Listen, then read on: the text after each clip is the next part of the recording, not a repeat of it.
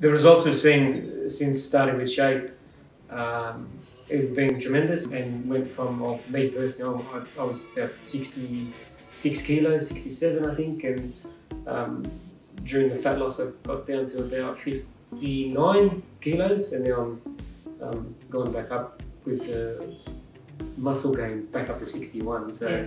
I had, I've had amazing results too. I was 60 kilos and then down to 52, so I lost eight kilograms. Um, most of that being body fat, not too much muscle, which is which is perfect. I think um, when people come up to you and, and say you, oh, you know, um, uh, you know, you look uh, a lot more fitter, um, a lot more healthier. I think to me that really um, motivates me to keep going and um, yeah, I, I, really appreciate what's you know the results we've got. Great. I think the first two weeks was hard, just the change in diet and sort of, um, you know, um, just eating some really, really good healthy foods with no sort of, you know, lollies, chips, chocolates and ice creams and all those sorts of things. You know, first two weeks I had headaches, as you know. Um, but then after that, I felt amazing after you passed the first first part, and then it was just um, I wouldn't say it was easy. I think it, it you know it was still hard to do. Um, you know, losing weight is never easy, um, or body shaping is never easy, but um, but I did it slowly. So every month I was losing about a kilo, which was manageable, um, and I think I think anyone can do it. I do some uh, jiu-jitsu training, so I've got a, a, a sore shoulder. Um, and Joe's been really good with the training around my injury. So he's given me, um, uh, again, personalised um, training to um, not affect my injury. Uh, I think that's, that's helped a lot.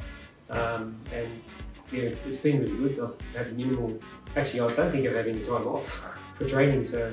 Yeah, and I've had plantar fasciitis and I've had that for a while now, which I told Joe about and Joe sort of worked the program around that. So I was still able to train and get results without really affecting the injury, um, my foot, and it's the foot's slowly getting better. Like it's pretty much near 100% better now. Um, uh, sort of 50% cardio um, and 50% uh, weights is what I was doing. Yeah, I was just doing weights for me um, just because of my um, foot injury, I was mainly focused on weights. But I found the best results from doing just weights. We, um, you know, Joe, Joe um, gave us the personalised um, program, and it had the videos on the side there, so we could see.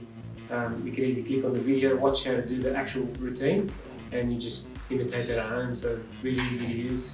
Yeah. It was really easy. So every month Joe would give us a new set of um, new set of weights to do, and you just click on the on the um, video, and then just follow it basically at home. So we really didn't need to ask too many questions. It was just easy.